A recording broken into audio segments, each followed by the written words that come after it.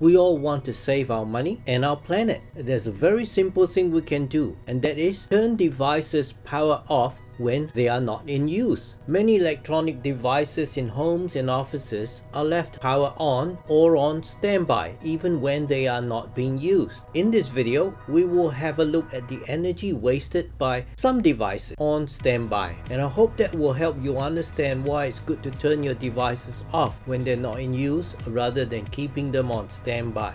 So let's proceed. In this demonstration, I'll use three common home electronic devices.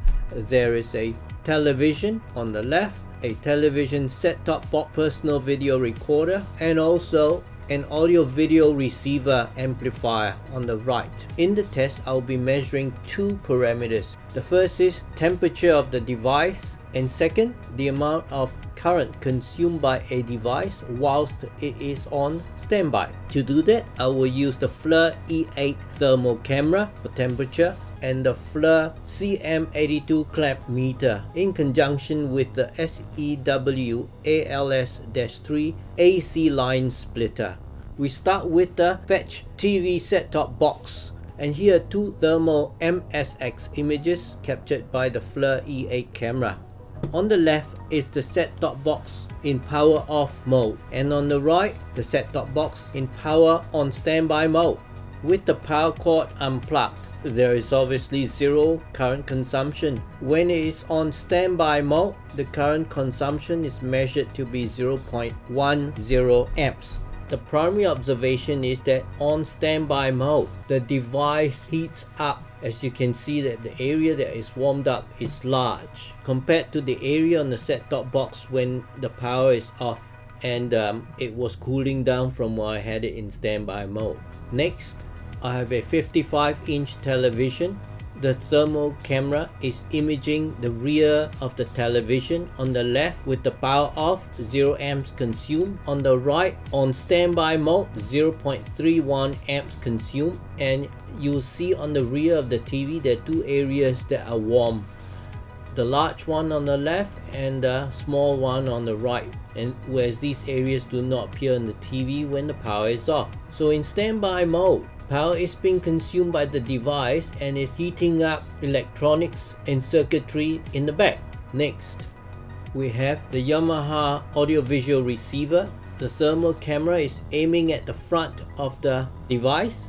On the left, you'll see that there's nothing that stands out as being warm because the device is off. On the right, you see the image in the center display area. It is warm and the device is consuming 0.22 amps. So what does this mean?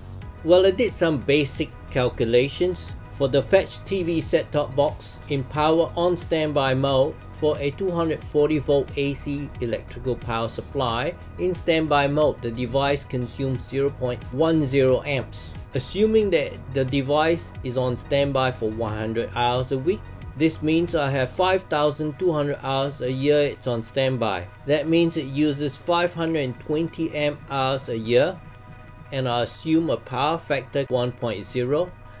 For a single phase AC power, the device consumes 124.8 kilowatt hours a year. Assuming that 1 kilowatt hour costs US 10 cents, this means that this device costs US $12.50 to keep on standby for a year doing nothing.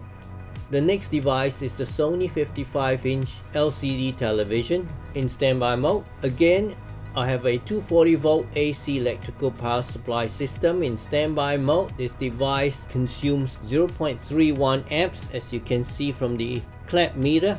Again, I assume on standby for 100 hours a week, giving 5,200 hours a year so on standby, the device uses 1612 amp hours a year.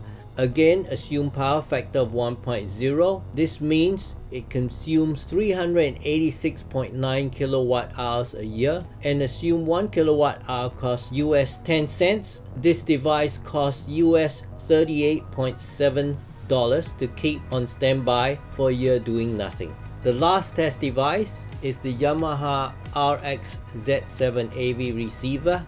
Again on standby, assume 100 hours a week, giving 5,200 hours a year on standby. So the device uses on standby 1,144 amp hours a year.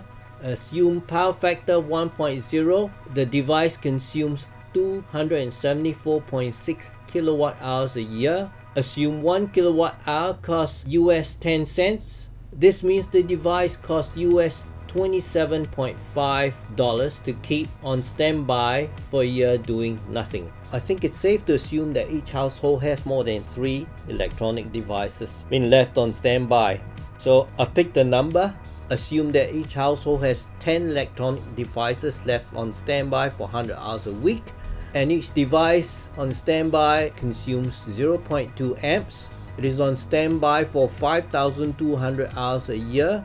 This means that on standby, the 10 devices will consume 10 devices times 0.2 amps a device times 5200 hours a year times 240 volts RMS gives you 2496 kilowatt hours a year. Again, assuming 1 kilowatt hour costs US 10 cents. This means it costs US $249.60 to keep 10 devices on standby for a year doing nothing.